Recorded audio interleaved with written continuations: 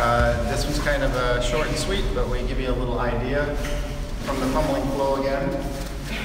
Coming out of this, I'm going to work to his back. From here, I slip up here and go right here.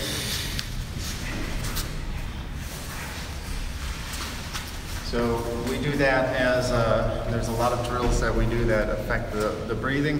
In this particular case, you get to do this from behind, and people forget that that movement underneath there, pass, makes this all available.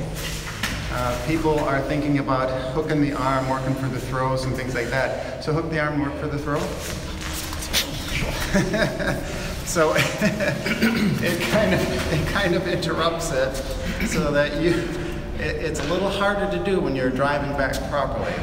And these aren't uh, this aren't a hook that goes down. This is a hook that goes straight in. Uh, your main thing is don't go uh, full power on that, and don't go full penetration because people need to swallow and breathe.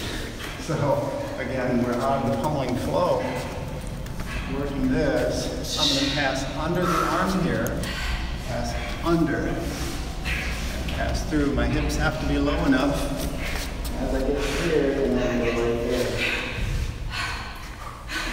It's a nice drive. It's a, a nice change of pace, but it gives you a little bit of an idea of the variety of attacks that you can put in on somebody.